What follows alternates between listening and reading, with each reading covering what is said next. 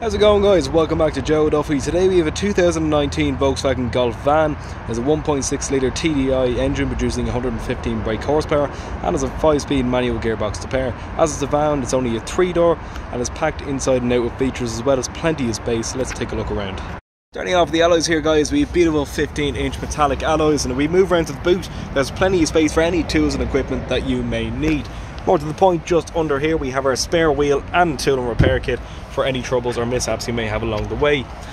Having back here we have little guard screens on the back windows to make sure nobody can peep in and see anything in the back.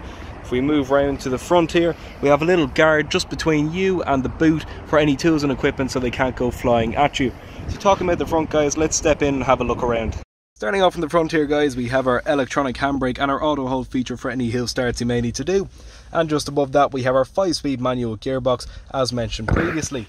Just behind there we have a little cubby area where you can place your phone or your sunglasses or anything like that along with a USB charger on the left to charge your devices along the way. Just above that then we have our air conditioning section. You can change it to how you like or you can let the air conditioning take over, whatever pleases you. If we have a look at the interactive touchscreen display now, we have our radio, our media, our phone and our sound and anything else you need for your journey to keep you occupied. If we move over to the multifunctional steering wheel now, on the left we have our cruise control and on the right hand side here we have our voice activated systems as well as having the ability to change the view on the dash. To the right of that then we have our lights, we have our fog lights, we have our parking lights and we also have our low beams. They can be changed to high beams with the flick of a button. Moving to the right here we have our electronic mirror adjust as well as our lock and unlock and just under that we have the ability to defog the mirrors in the morning should they be misted up and just below that then we have our electronic windows just for the front as it is a three door commercial vehicle. So with all that said guys we'll get out of the car and talk a bit more.